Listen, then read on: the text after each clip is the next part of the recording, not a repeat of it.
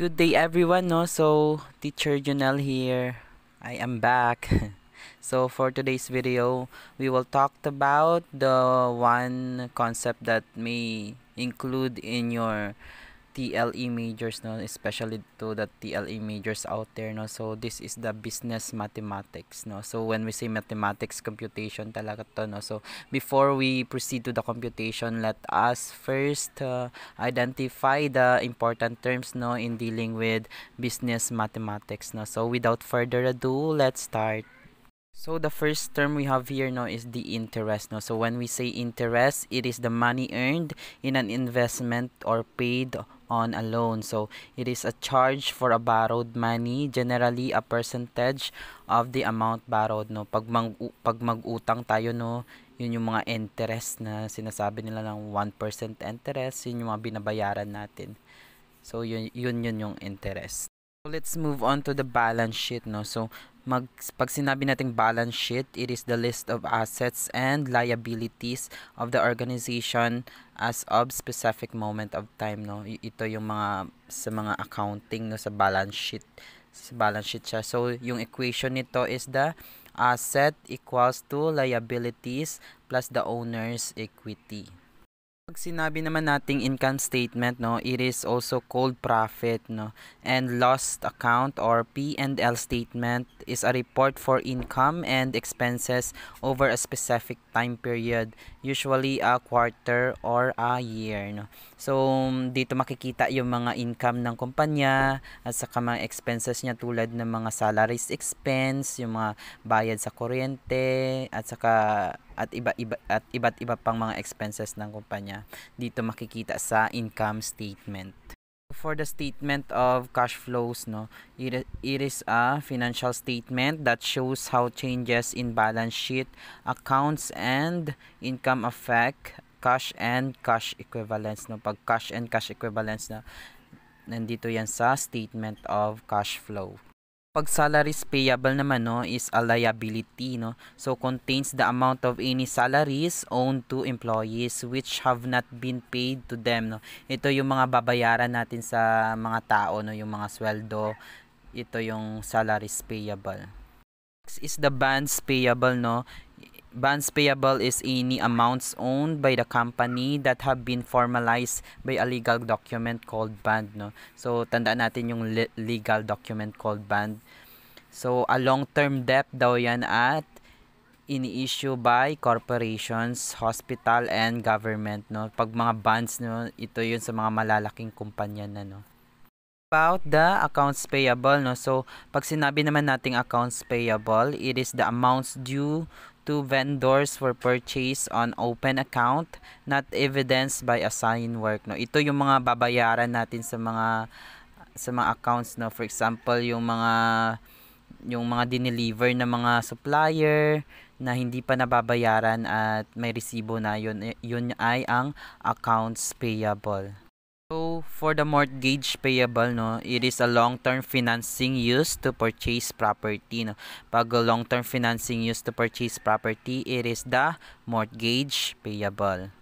So, gross income, no? So, when we say gro gross income is the pre-tax income, no? Before any deductions are taken, no? Pag sinabi nating gross income na wala pa itong deduction, no? For example, 10K yung gross income mo, 10K yun, wala, wala siyang deduction ng pag-ibig, ganun, dapat 10K talaga, no? Yun yung gross income. So, sa net income naman, no? So, residuals amount of income after all deductions have been taken no? Dito na masasabing pag net income may mga deduction na. For example kanina sa gross income mo is 10,000 no? So pag may deduction siya ng uh, SSS for example 500 pag-ibig ganun. Pag may deduction na siya at naka net income ka ng 8,000 minus the deduction yun na yung net income mo. Thirds yung uh, net income ay may deduction na We have here no the fixed assets no for pag sinabing fixed assets no it is the assets that are purchased for a long term used and are not to be converted quickly into cash no.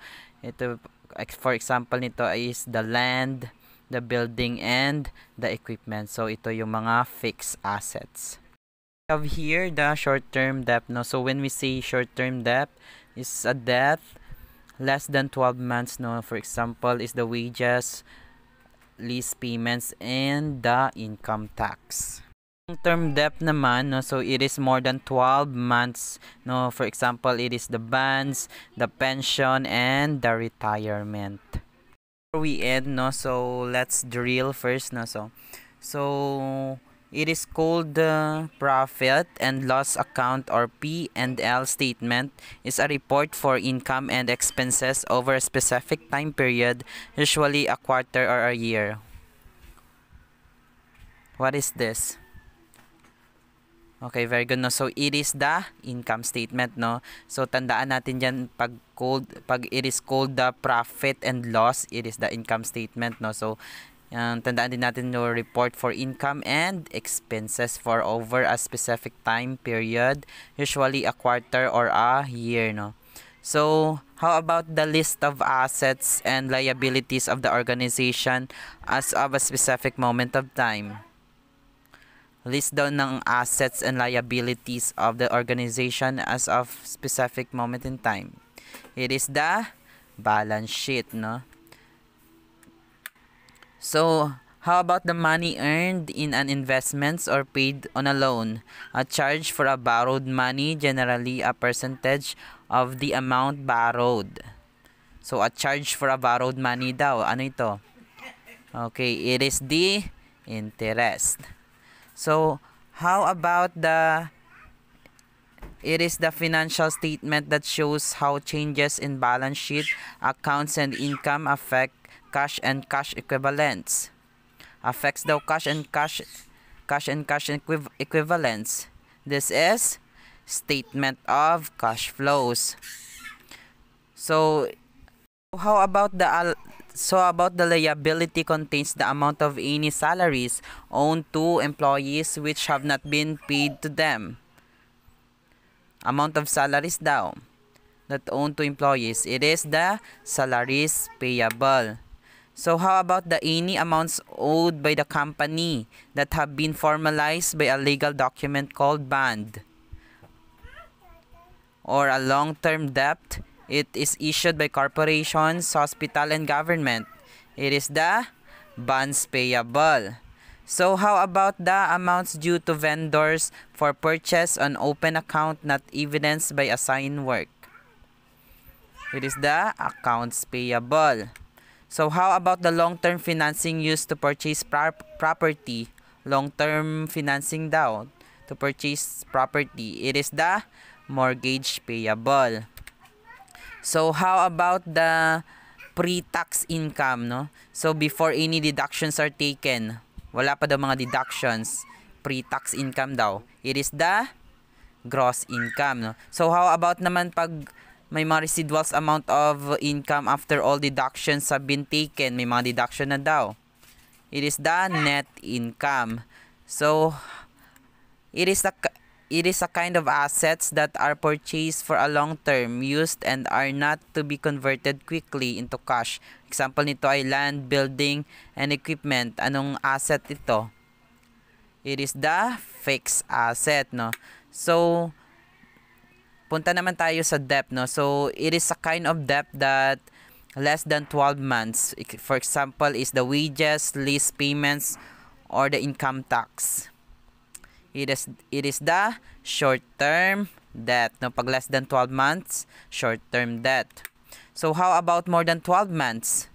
It is the long-term debt. No? So, example ng mga long-term debt is the bonds, pension, and the retirement that ends our discussion for today no? So i hope that you've learned new something today about business mathematics no? For yung mga important terms no? Sa business mathematics no? So so guys don't ever ever stop learning no? So our next topic to be discussed is all about the simple interest formula no? So mag-solve na tayo dito ng mga simple interest formula and uh, find the principal rate and time using the simple interest formula no so before we end i if you find this video help no helpful for you for your review, especially for your review in TLE major. No? So please don't forget to subscribe and hit the notification bell para updated kayo if I have new videos to be